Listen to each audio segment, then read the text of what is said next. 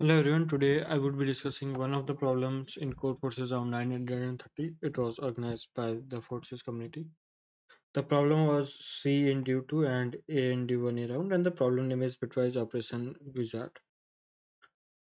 So let's get started. Problem statement This is an interactive problem. There is a secret sequence P0, P1 up to Pn minus 1, which is a permutation of 0, 1 up to n minus 1. You need to find any two indexes i and j such that bitwise XOR of pi and pj is maximized. To do this, you can ask queries. Each query has the following form. You pick arbitrary indexes a, b, c, and d, where all of them are between 0 and n minus 1. Next, the jury calculate x, which is bitwise OR of PA and PB, and y, which is bitwise OR of PC and PD. Finally, you receive the result of comparison between x and y. In other words, you are told if x is less than y, x is greater than y, or x equal to y. Please find any two indexes i and j such that bitwise uh, or XOR is maximized among all such pair using at most 3n queries. If there are multiple pairs of indexes satisfying the condition, you may output any of them. And the interaction, like the first line of each test case contains one integer n. At this moment, the permutation p0, p1 up to pn minus 1 is chosen. The interactor in this task is not adaptive. In other words, the sequence p is fixed in every test case and does not change during the interaction. To ask a query, you need to pick four indexes a, b, c, and d and print the line of the following from question mark and then all the indexes a, b, c, and d. After that, you received less than sign if bitwise OR of p and pb is less than bitwise OR of pc and pd. Equal to sign if both bitwise ORs are equal and greater than sign if pa, pb OR is greater than pc, pd. You can make at most 3n queries of this form. Next, if your program has found a pair of indexes i and j such that p, pi's or pj is maximized, print the line of the following form. Exclamation mark i and j. Note that the, this line is not considered a query and is not taken into account when calculating the number of queries asked. It's a constructive problem. So like people may have different solutions, different ideas they may have tried on it. So first let's play around this problem and see like what are the observations we can make. Let's list all the numbers from for n equal to n in binary representation. What I have seen is like most of the people have only one solution. So it was more of a hit or miss problem. Either you know the solution, in that case you could have gotten AC or you have missed it.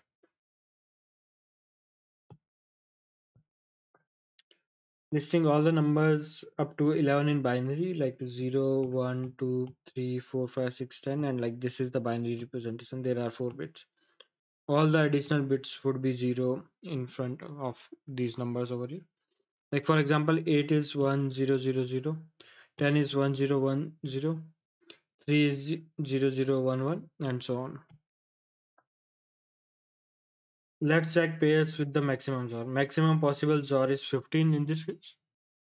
And for n equal to pair, like the pair is 7 and 8. Like if you pick this 7 and 8, then you if you notice bitwise XOR, like this bit here would be 1, this bit here would be 1, this bit here would be 1, this bit here would be 1.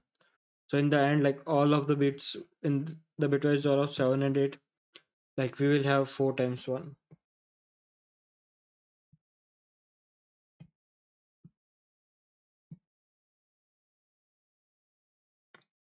And in general, if n minus 1 has at least k bits, then there exists a pair with XOR equal to k1 bits. In this case, like n minus 1 has 4 bits, so like we have one pair which has all the 4 bits as well. And like, is this the unique pair? The answer is no. Let's list all such pairs. Then you can see like 7 and 8 have maximum XOR, 6 and 9 also have maximum XOR, and 5 and 10 also has maximum XOR. And all those three pairs have maximum XOR 15.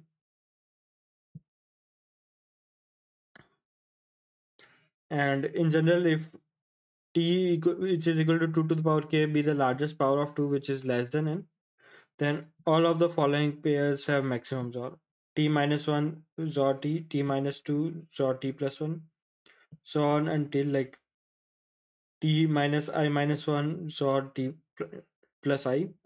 And at last when you look at for n minus 1 2t minus n minus 2 like you will have a lot of such pairs which can have maximum XOR based on what the maximum value like if like n is the maximum value and t is the maximum power of 2 that exists between 0 to n minus 1 then there would be n minus t such pairs.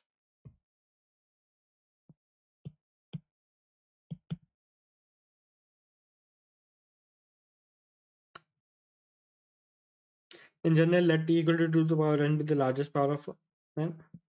And like for the rest remaining of my problem like i will focus on this pair where one of the element is n minus 1 and like we the other element whatever is there. And the, the maximum XOR is like if 2 to the power k is the maximum number then the maximum XOR is 2 to the power k and the remaining bits which are not present in 2 to the power k. And this is because like i know one algorithm like which using which we can find it. And like how to get an intuition would be like if you play around problems then that would be the way let's first find the location of n minus 1 the maximum element in the array. Like let's first find this 10 and then we will focus on how to find this 5 over here. Notice that the condition is 0 is less than equal to a b c d is less than n. So repetitions are allowed between a b c and d.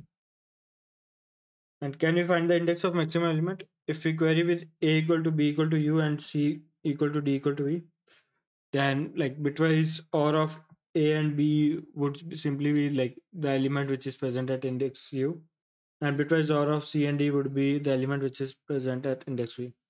So the result is the comparison of pu and pv over there.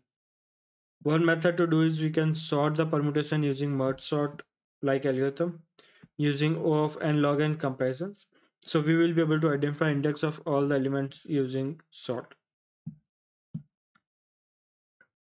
like for example if you write comp function which takes x and y and returns true if the element at index x is less than index y it should be px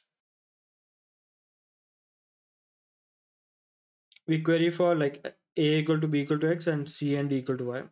If it says s is less than sign then px and py returns true otherwise it returns false and then now we can use built-in sort function sort which a dot begin a dot end and comp function which we provide over there. And after sorting the zeroth element is the element at index 0 is at index a0 1 is at index a1 i is at index ai and n minus 1 is at index n minus 1 using n log n function we can will definitely give us wa because at max 3 into n such queries are allowed but like this is one way using which you can sort find all the elements. So maximum or bit anything you ask would be easier for this problem. And like because we want to find the maximum element of index what we can do is we can also run a single for loop finding the max element of the index. Using a single for loop. And like a function would look like def maximum index and max index like let's start with 0 and then let's try all the index i equal to 1 to n minus 1 and if we compare like current max index with the next index and if it says like value at max index is less than index then we reassign the value at max index. This should be instead of idx max index should be equal to idx and n minus 1 queries will be used to find the maximum element index over here. Now i will fix this slide a bit uh, before uploading the video.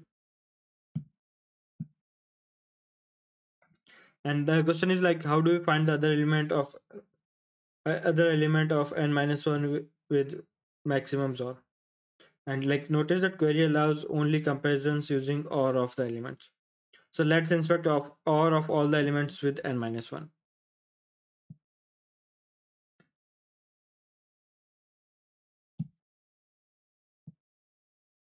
So 10 or 0 is 10, 10 or 1 is 11, 10 or 2 is 10. And if we write all this like this, notice that 10 or 5 is 15, like 15 is also the max XOR we can have. And 10 or 7 is also 15, that is the maximum XOR and there would be more elements over there. And if you notice here, like maximum OR is same as maximum XOR, which is 15. And it turns out that the minimum element with maximum, which maximum OR also gives us maximum XOR which is 5 in this case.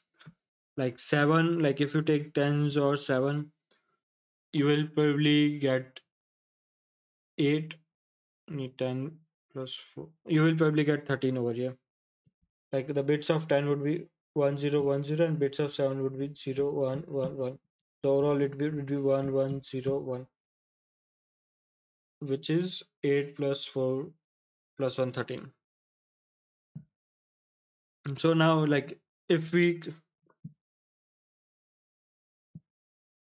like, so the algorithm which turns out is like, let's try to find like once we know like at which place the max index element is 10 is, we can try to look at OR of all the elements which with 10 and we can try to find the list of all the elements which gives us the maximum OR and among all the elements if we try to find the minimum element we will get a required pair over here Intuitively, this will work because minimum number among these values of maximum OR will have least number of common bits with n minus 1. Because like in case of common bits, XOR gives us 0 but OR gives us 1. So like if we look at two elements with maximum OR and if we try to reduce one of the element as small as possible, like the number of common bit should intuitively reduce over there. Like that it, this is not a monotonic function, but if you look at each bit individually, if there is a common bit with n minus 1, if if you simply remove that bit, like your OR will not change. But XOR makes a one over there. Like for example, like two bits one and one on there then taking XOR for them will give us 0 but if you remove this 1 and replace with 0 and other element being 1 then your XOR and OR both would be 1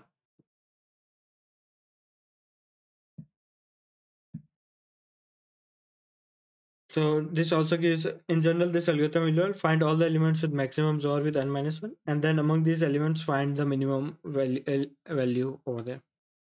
And this is pretty much the algorithm we have. And a pseudocode can be written as like get other element which takes max index where the max element exists and n. We can say the required index is 0 and for index i equal to 1 to n minus 1 we first query required index with I have taken XOR with max index and our current index taken OR with max index. If it says like our required index gives us the maximum OR we simply continue over here. If it says required index gives us less or than current idx then we assign required index with idx and continue over here. And in case or is equal then we compare them and take the minimum value over there. So we can directly call our other comp function if idx element at idx is less than required idx then we reassign required idx with x. And at last we should return required idx over here. So like this should be required idx And final algorithm for solve is first find max index, like maximum calling maximum index function. Max index would be the place where n minus one exists using n queries, and then use other paired like get other element which takes max index and n and gives us the other pair. And at last we can print both of these indexes to get our final value. And like if you notice like this algorithm runs for order n times and there can be at max two times query. Here we run for n queries over here and in case every time or is equal here also we will end up with n queries so overall this algorithm takes 3 n queries overall and i will jump on to my code for this one as well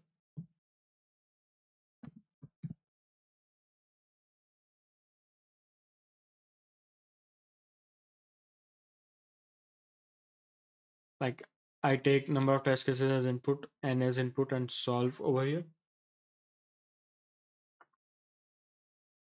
And my solve function there is one query function like here the commented out code is what I was using for brute forcing.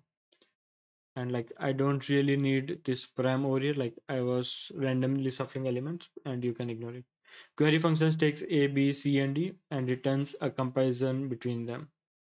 You can simply assume that like I randomly suffered although it was not required. But you know it prints those indexes and takes s as input and if s is less than it returns.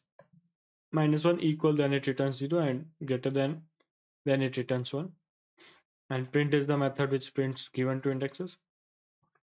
My first method is find largest element which assumes that max 0 is the max index so far and then idx equal to 1 to n minus 1 and then it queries take OR of current max with max and compare it with idx OR of element at idx with idx and if it's minus 1 then in that case the element at mx is less than element at idx so we reassign max with idx and return whatever max we have got. So this will give us the largest number. And like then we can also call like other pair bit get other pair which takes largest element index it starts from idx equal to 0 to n. If idx is max then ignores it. Otherwise it compares like or of element at max with idx and element at max with the other pair like the element which we want to focus in. If it says the result is 1 like which means like the current index gives us a better or then we reassign that as a current maximum and continue. And if it says like both the ors are equal then we compare both the queries over here the element at idx and the current variable we are denoting.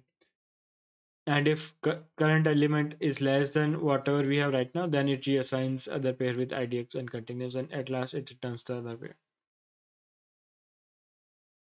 And this gets an accepted, accepted verdict and this was the idea for this problem. So thanks a lot for everyone for joining